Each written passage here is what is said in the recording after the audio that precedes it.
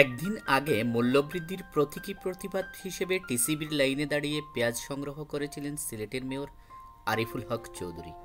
এ নিয়ে বিভিন্ন মহলে আলোচনার সমালোচনার মুখে পড়েন তিনি। এই অবস্থায় মঙ্গলবার সকালে সদল বলে নগরীতে পেঁয়াজসহ নিত্যপণ্যের বাজার পরিদর্শনে নামেন মেয়র আরিফ।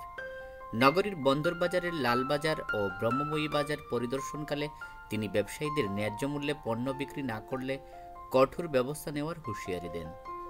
এসময় সিলেট সিটি কর্পোরেশনের প্রধান রাজস্ব কর্মকর্তা জসিমউদ্দিন ভ্রাম্যমান আদালত পরিচালনা করে তিনটি মুদি দোকানকে চল্লিশ হাজার টাকা জরিমানা করেন। অতিরিক্ত দামে পেঁয়াজ বিক্রির দায়ে ইনসাফ গ্রোসারিকে দশ হাজার, এস এম ট্রেডার্সকে বিশ হাজার ও আনিস মিয়া স্টোরকে দশ হাজার টাকা জরিমানা করা হয়। এই অভিযানে সিটি কর্পোরেশনের নির্বাহী প্রকৌশলী আলী আকবর, লাইসেন্স কর্মকর্তা মোহাম্মদ জাহাঙ্গীর সহ সংশ্লিষ্ট কর্মকর্তারা উপস্থিত ছিলেন।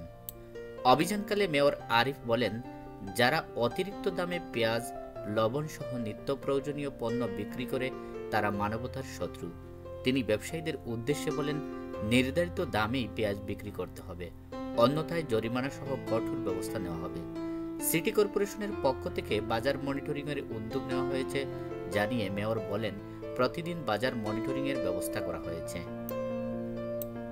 এছাড়া লালবাজারের বিভিন্ন মাংসের দোকানে অভিযান চালিয়ে দুটি দোকান থেকে পচা ও বাসি মাংস জব্দ করেন মেয়র আরিফ।